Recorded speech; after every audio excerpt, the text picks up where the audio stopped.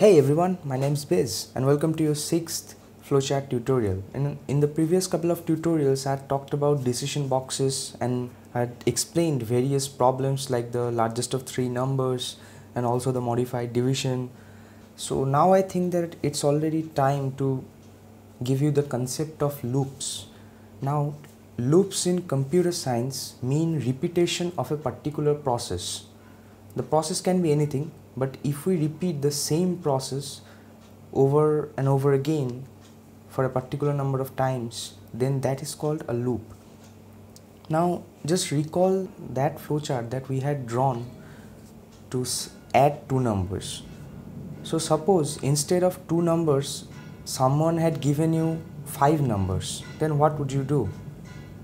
You'd say that hey i would just take five numbers from the user store them in five different variables and then i'll just add them up. That's it. That's how simple it is. But suppose someone would have given you 20000 numbers. Then what you do? Because you don't have 20000 variables right? And at that time you need a loop. And how you need a loop? I'll tell you that. So what we did here is this is a flowchart to get the sum of some amount of numbers and how many numbers that would be specified by the user. So we start, we set the different variables that we are going to need to 0 and then we ask the user to input the value of n. Here n stores the number of items that we are going to add. So suppose the user enters 10, okay? So then after that we go here. We ask the user to input a number and we store that number in A and after that we do this.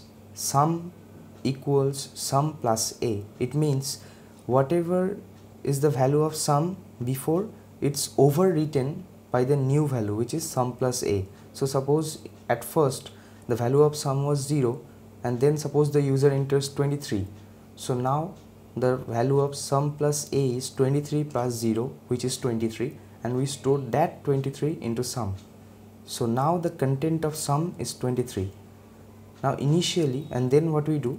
We do i is equal to i plus 1 now initially the value of i was 1 so now the value of i is 1 plus 1 which is 2 so after this process box we have sum 23 and i2 then we go here and we check whether i is less than equals to n or not which means whether 2 is less than equals to 10 or not if it satisfies, we send the flow of control to again here, where the user have to enter another data. So it asks the user to enter another number. So he enters another number and that number is overwritten in A. So suppose now the user enters 15. So now A stores 15. Now with that 15 you go down you do this sum equals sum plus A now the value of sum is 23 because we had calculated that in the previous step right? So now 23 plus 15 which is 38 and that 38 will be stored in sum. So now the content of sum is 38 and then we do i equals i plus 1 so now i equals 2 plus 1 because the current value of i is 2 so 2 plus 1 is 3 so now the value of i is 3 sum 38 i3 we check again whether 3 is less than equals to 10 it is. So we again move the control to here. So you know that like this how many times will it continue? Obviously 10 times right? Because when the value of i will be 11 then this condition this won't satisfy. So what you will do? You'll go to follow the no hand you'll go down and you will display the sum. And then you'll stop. So that is the concept of loops look the number if I had not used loops then what you would have to do? Here you would need 10 variables like a b c d e f g h i j. So that would just create a mess right? But instead using a loop I just used a single variable to get the data from the user.